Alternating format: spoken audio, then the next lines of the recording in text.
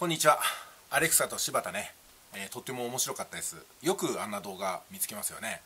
で私ね今ねレクサスのショールームにあの運転に行ってきたんですよ。あの試乗会に。で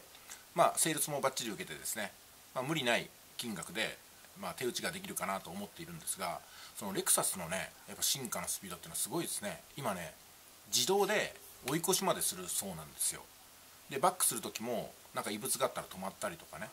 それから右側に曲がろうとした時に危ないよっていう警告もしてくれるんで人間がやることどんどんどんどん減ってるんですよ。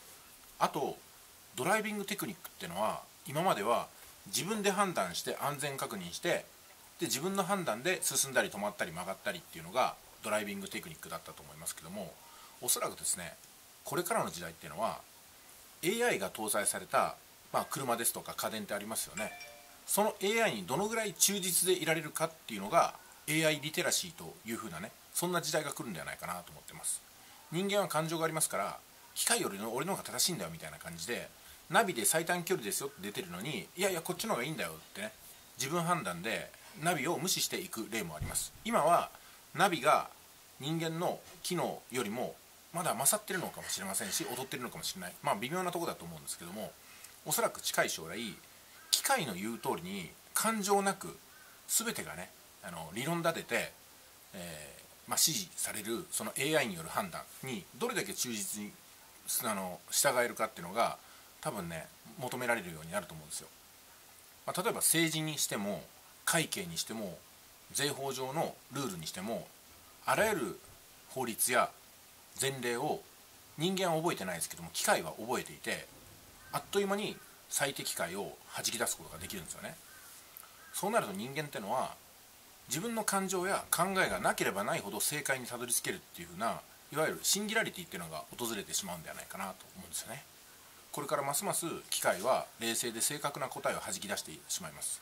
今電卓で計算して電卓が間違えてる。自分の計算の方が暗算の方が正しいんだっていう方は多分いないと思うんですよ。そのぐらい機械っていうのは正確で素早くなってきました。もう人間がね追いつかないとこまで来たんですよ。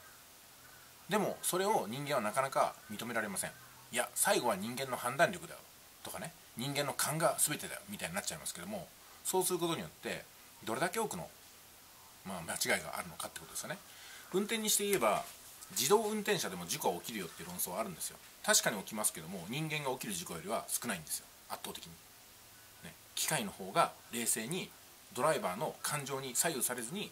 進んだり止まったり曲がったりすることができる。これ火を見るより明らかですよね。だからどのぐらい